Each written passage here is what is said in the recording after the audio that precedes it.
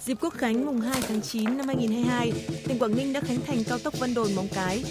Sau tròn một năm, tỉnh Quảng Ninh tiếp tục khánh thành và gắn biển chào mừng kỷ niệm 60 năm ngày thành lập tỉnh đối với dự án cải tạo nâng cấp đường tỉnh 341, còn gọi là quốc lộ 18C từ khu kinh tế cửa khẩu Móng Cái đến khu kinh tế cửa khẩu Bắc Phong Sinh.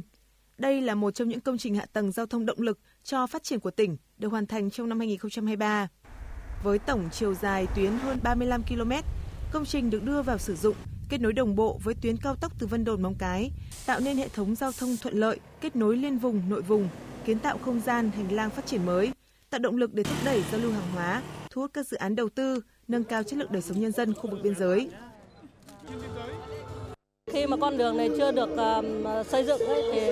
uh, cái quá trình uh, di chuyển ờ, xuống uh, thành phố Móng Cái thì rất là xa. À, bây giờ thì kéo lại cái khoảng cách là đi chỉ cần khoảng 30 phút là à, đến thành phố Móng Cái.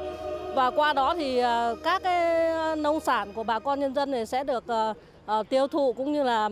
tạo cái liên kết vùng. Nó giảm rất nhiều những cái chi phí cho cái phương tiện qua lại giữa hàng hàng hóa của chúng tôi vận chuyển từ cửa khẩu Bắc Phong Sinh xuống Móng Cái cũng như là ở cửa khẩu Móng Cái về Bắc Phong Sinh. Nhìn lại năm 2023, một năm với nhiều thuận lợi nhưng cũng có nhiều khó khăn đan xen. Với kinh nghiệm kế thừa trong thực hiện các đột phá chiến lược, nhất là đột phá về tầng giao thông, tỉnh Quảng Ninh tiếp tục huy động mọi nguồn lực kiến tạo các hành lang giao thông gắn với hành lang kinh tế, hành lang đô thị. Nhiều công trình hạ tầng giao thông quan trọng trong kết nối nội vùng, liên vùng và quốc tế đã được hoàn thành.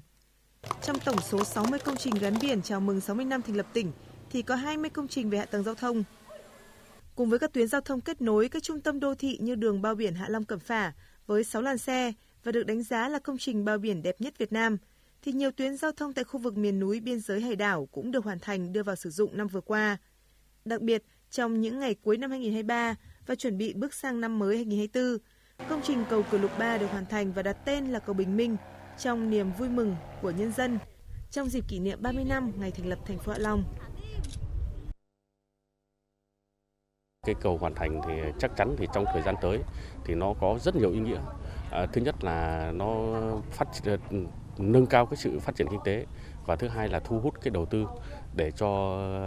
các cái công ty xí nghiệp biết đến với vùng cao hơn và đến vùng cao của chúng tôi là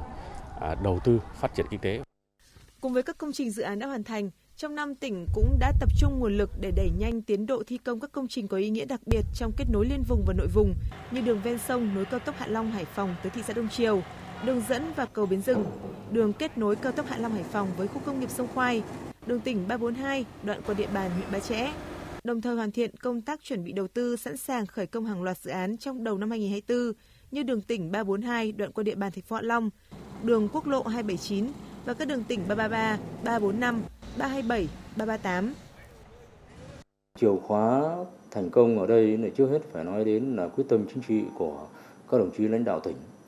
Và đặc biệt là người đứng đầu tỉnh. Tái cơ cấu đầu tư công quyết liệt trong tổ chức thực hiện thì các cái dự án hạ tầng giao thông đã được đầu tư hoàn thành. Các dự án đang đầu tư và chuẩn bị đầu tư ờ, sẽ góp phần hoàn thiện hệ thống hạ tầng giao thông của tỉnh Quảng Ninh. Ờ, đồng bộ hiện đại liên thông tổng thể và góp phần thực hiện hoàn thành nghị quyết đại hội đề ra.